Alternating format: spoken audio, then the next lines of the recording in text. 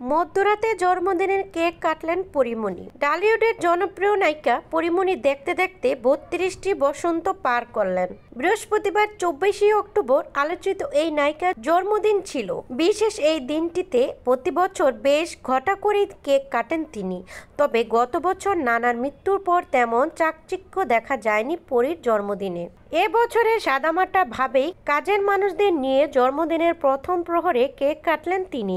জাঁকজমকপূর্ণ আয়োজন না করলেও কাছের কিছু বন্ধু বান্ধবদের সঙ্গে জন্মদিনের কেক কেটেছেন পরিমণি। এ সময় এই নায়িকা ফেসবুক লাইভে এসে বলেন আসলে আমি শারীরিকভাবে একটু অসুস্থ।